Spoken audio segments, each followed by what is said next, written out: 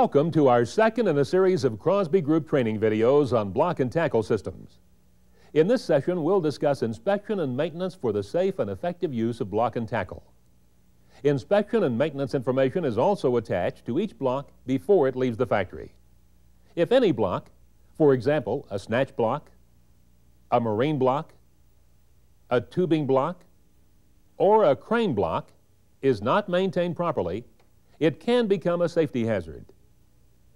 The first point of inspection is visual observation. If a block or any of its components or tackle, such as shackles, wire rope end connections, hooks, eyes, or wire rope, etc., show signs of permanent deformation, significant wear or damage, the component should be taken out of service immediately and replaced. Let me repeat that. Never use a block or any tackle component which shows signs of permanent deformation, significant wear, or damage. The side plate of any block is an important point of inspection. If a side plate is bent or curved from its original shape, or holes in the side plate are elongated or stretched, the block should be taken out of service. There should be no play or looseness of a side plate. If a side plate is loose, this is likely a sign that the nuts and or bolts used to hold the side plate to the block have loosened or are missing.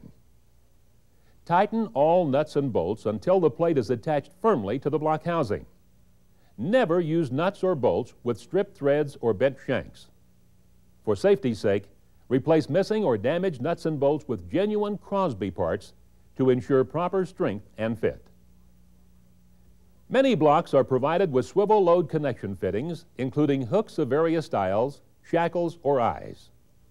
Visual inspection of swivel fittings should include shoulder running clearance, lateral movement, wear and deformation. The hook being demonstrated is a single point type. Regardless of the specific design of a hook, the maintenance rules remain the same. It's important to remember there is no substitute for regular visual inspection in the field as the first step in a good maintenance program. The shoulder running clearance between the swivel case and the shoulder is generally set at 1 32nd to 1 16th of an inch at the factory. Clearance is greater than 1 8 to 3 16ths of an inch or excessive lateral movement may indicate dangerous looseness or wear of the assembly. Disassembly and further inspection of the unit is required. Any fitting attached to these blocks or tackle in a block and tackle system which exhibit any deformation or wear in excess of 10% of its original dimension should be removed from service. In the inspection of hooks for deformation, the throat opening is particularly critical. Although some sources, American National Standards Institute, ANSI for example, allow for a percentage of increase in a hook's throat opening, we strongly recommend that a hook showing any deformation in this area be taken out of service. Our years of experience in the industry have convinced us that a hook showing this type of damage is an indication that not only has the hook been loaded beyond its working load limit, but likewise the entire block and tackle system has been overloaded at some time in the past. In such a case, all components of the system must be carefully inspected. Sometimes your inspection of a hook may reveal a twist. If this twist exceeds 10 degrees, the hook should be taken out of service. Hooks should be checked for nicks, gouges, and cracks. These damages can affect the integrity of the hook's load-bearing capacity. Any detected crack in a hook is reason to take the hook out of service. We recommend, as minimum, checking hooks and similar critical load-bearing parts using magnetic particle or dye penetrant inspection yearly for cracks. Trained personnel can repair nicks, gouges, and cracks by grinding in the direction in which the hook curves. Make the ground surface smooth and gradually blend into the original surface of the hook. Such grinding must not reduce the original dimension more than 10% in Zone B or 5% in Zone C. If the repair or wear on a hook has exceeded these limits, the hook must be removed from service. Because Zone A is a low stress zone, it's not normally necessary to repair nicks or gouges in this area. Inspect your hook assemblies frequently to ensure the nut retaining pins and or set screws are in place and firmly tightened. Inspecting the internal parts of a block requires disassembly. The threads that connect the hook shank to the round nut can become corroded. Badly corroded or deformed threads create a safety hazard. Inspect threads for corrosion, thread root cracking, or deformation on a regular basis. Checking more frequently in work environments where more severe or faster corrosion is a possibility. If 20% or one-fifth of the threads are corroded, take the block out of service. Look for cracks and thread distortion, paying particular attention to the first three threads from the bottom and the thread relief. Any cracks detected in the entire shank or deformed threads is cause to take the block out of service immediately. We recommend as minimum a visual and a magnetic or dye penetrant inspection of hook shanks and similar connection shanks annually. Hooks in our blocks generally are equipped with one of three types of bearings. First, you will find plain or steel on steel bearings. These bearings are found in hook assemblies where rotating of the hook when loaded is not required. Plain bearings allow the hook to be moved into a proper position before attaching and applying the load, but will not allow the hook to rotate once the load has been applied. The second type of hook assembly bearings are bronze washers. These allow the hook to rotate freely when it's not supporting a load and allow it to rotate under light loads as well.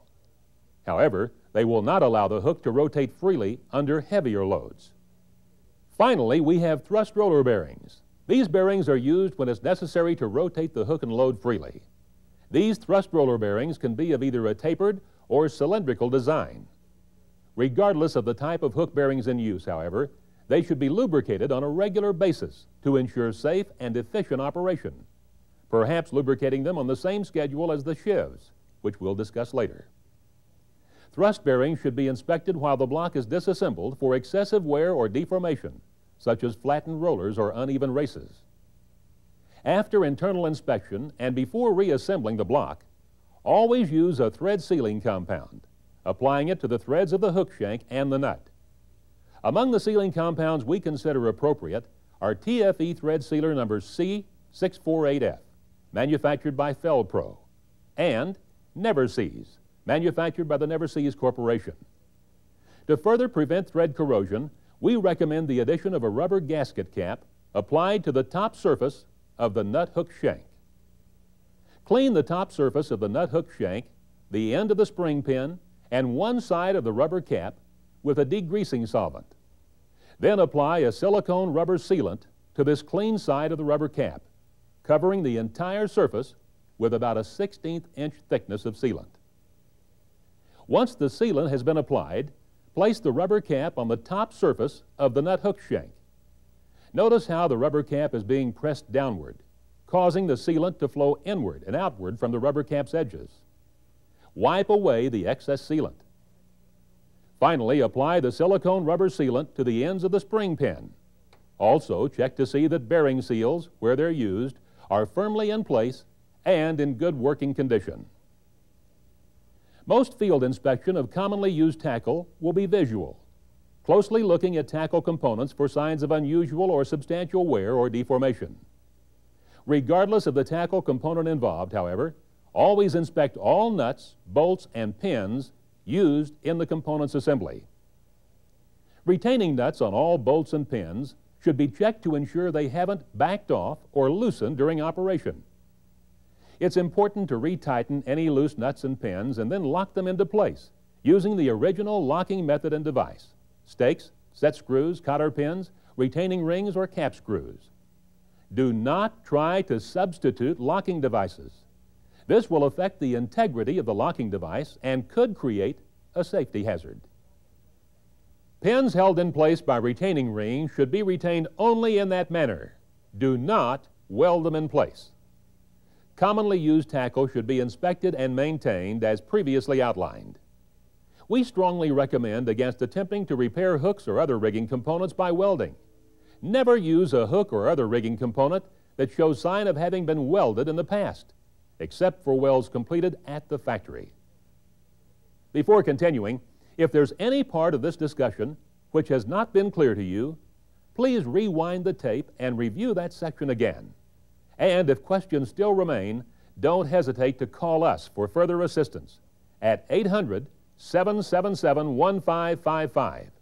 We want you to fully understand the proper use of our blocks and the inspection and maintenance required for using them with confidence.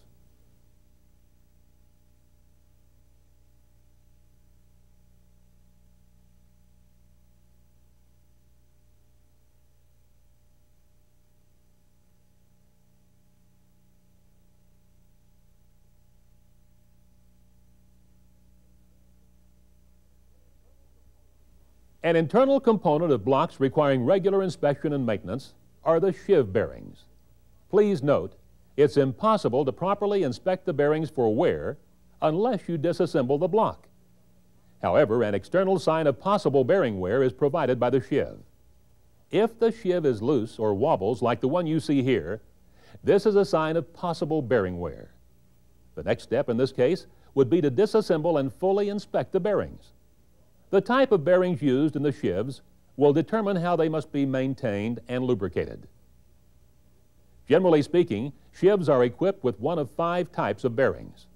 Let's take a brief look at these five types, as well as their work applications and lubrication requirements. The first type of bearing is the self-lubricating bronze bushing. These bearings are appropriate for work environments or operations which make it difficult to get to the bearings for relubrication on a regular basis. Re-oiling self-lubricating bronze bushings will extend their life. These bearings are suited to jobs requiring low speeds and on-again, off-again, or intermittent operations. The second type of bearing is the common or plain bore sheaves. These bearings are for very slow line speeds, infrequent use, and light loads, such as hand operating or manual powered hoist applications. Re-oiling of plain bore sheaves before each use will extend the life of the sheave bore and shafting. Common or plain bore sheaves are not recommended for power crane or power hoist application. The remaining three types of bearings require regular lubrication with a lithium-based grease of medium consistency under average working conditions.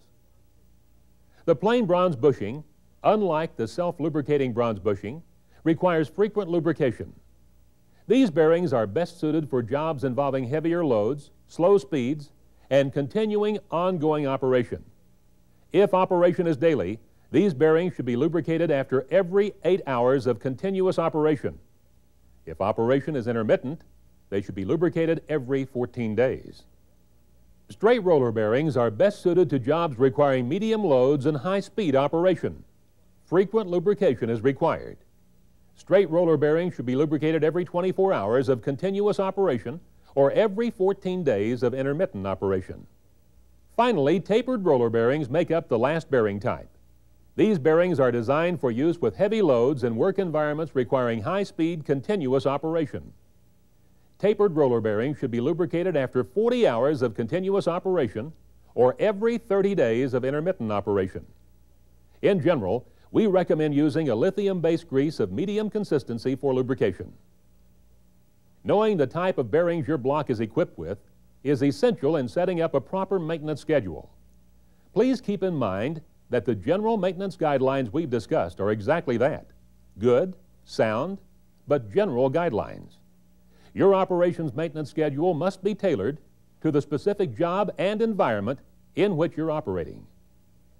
Your own inspection and maintenance program should comply with all appropriate regulations and guidelines, such as those established by the Occupational Safety and Health Administration, OSHA, the American Petroleum Institute, API, and other standards organizations.